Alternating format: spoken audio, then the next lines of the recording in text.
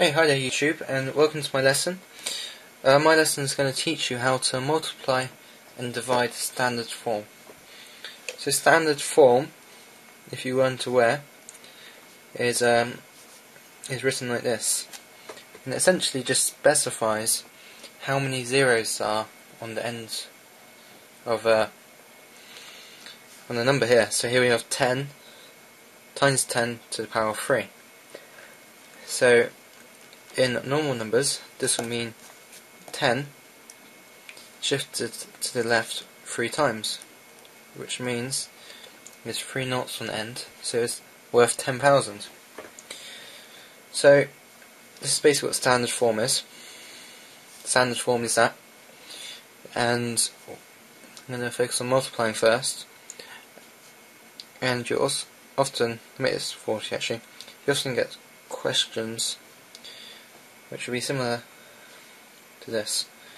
So you can say 40 times 10 to the power of 3 multiplied by 2 times 10 to the power of 8. And often this will be on a non-calculator paper because there is a very easy method of solving this. So essentially what you do is you first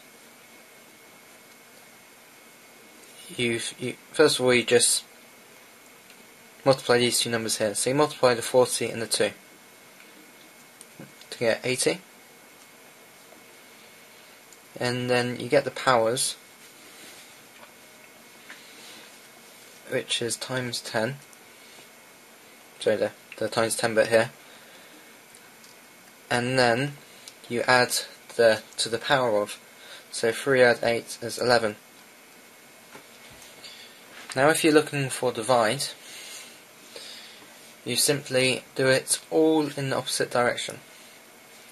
So you do 40 divided by 2, okay, just multiply, I just sort them out, and now divide,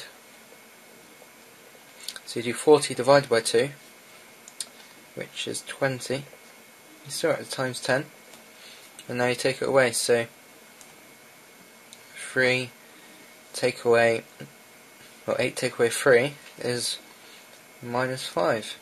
So it would be 20 times 10 to the negative 5. So if you're wondering what the negative power of, you simply draw in the, remember you have to put the, the first 0 and that counts. 1, 2, 1, 2, 3, 4, 5, 20. So it still says a positive number, even though the power of is a negative. Because when you divide, you're always, when you divide whole numbers, when you divide positive numbers, you're always going to get a positive outcome. So, anyway, that's that's the that's the overview of how to multiply standard form, and quite often this will come in your non-calculator um, calculator exam because obviously it'll be very easy to do in a calculator exam. So if you have any questions or any feedback, feel free to leave a comment. I would really appreciate that. Also, don't forget to like and subscribe my video if it's helped you. And if it didn't help you, just say why it didn't help you and I will help you individually and I will create a revised video so that helps a lot more people because if you can identify flaws in my teaching, I would really like to know what these, these flaws are. So anyway, thanks for watching and goodbye.